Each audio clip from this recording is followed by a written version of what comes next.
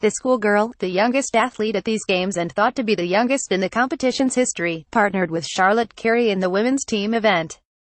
Advertisement Gold Coast 11-year-old table tennis prodigy Anna Hursey made her mark at the Commonwealth Games as she helped pull off a hard-fought doubles win for Wales on Thursday.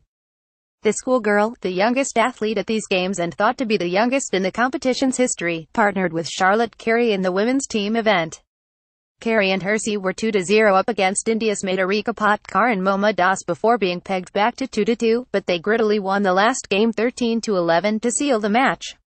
Although it was Wales's lone success, as India won the three singles matches to take the tie 3-1, it was an important step forward for Hursey.